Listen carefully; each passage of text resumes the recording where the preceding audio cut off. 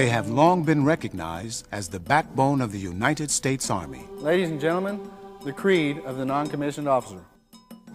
No one is more professional than I. The corporals, the sergeants, I am a member of a time-honored corps. the proud warriors who so adeptly perform as small unit leaders, trainers, and guardians of standards. Competence is my watchword. They are respected for their professionalism, I will strive to remain tactically and technically proficient. for their commitment to knowledge, I know my soldiers and I will always place their needs above my own. and for their enduring capacity for selfless service. I will not forget. Nor will I allow my comrades to forget.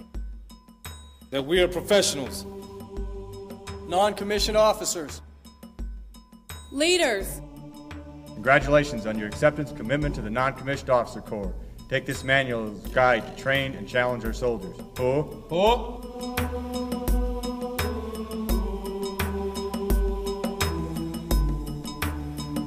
Non commissioned officers in the U.S. Army share the pride of a rich history of accomplishment.